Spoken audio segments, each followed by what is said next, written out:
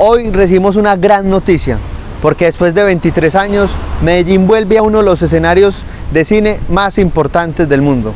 La película Amparo, que fue rodada en Medellín, dirigida por un paisa, Simón Mesa, fue nominada al Festival de Cannes. La alcaldía de Medellín lo apoyó a través de la Cinemateca, a través de la Comisión Fílmica, y eso es nuestro gran propósito, seguir apoyando el talento local que nos hacen quedar tan bien en el mundo.